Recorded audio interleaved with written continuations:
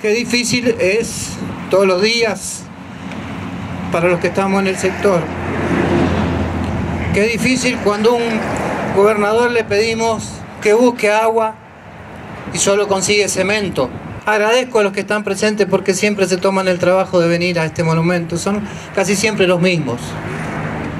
No voy a defender partido político ni nada que se le parezca, pero haría falta que estuvieran todos los colores políticos acá. Y que hoy se jacta de tener turismo, ganadería y un montón de cosas que hacen a la economía, se, mantiene como oasis por la agricultura. Ahí tendríamos que tener un reconocimiento en decir, seguimos siendo oasis gracias a ese puñado de agricultores que van quedando, que no son muchos. Y que discúlpeme, pero ya lo veo como yo, que peinamos más cana que pelo negro.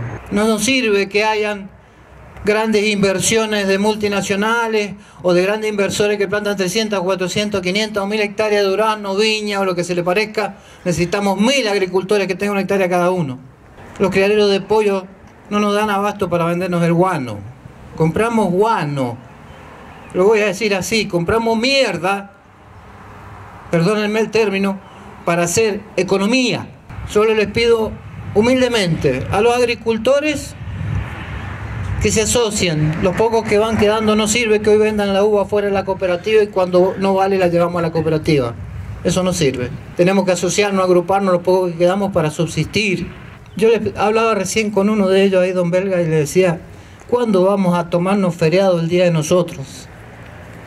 Los maestros, la policía, todos tienen un día y festejan su día se van con su familia, se juntan con sus compañeros a cenar en una fiesta, mañana está la de los maestros y así, todos se festejan un día.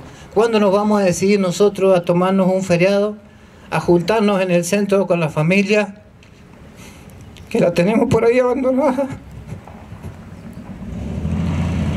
por laburar, por trabajar, y nos vamos a ir en patota al centro?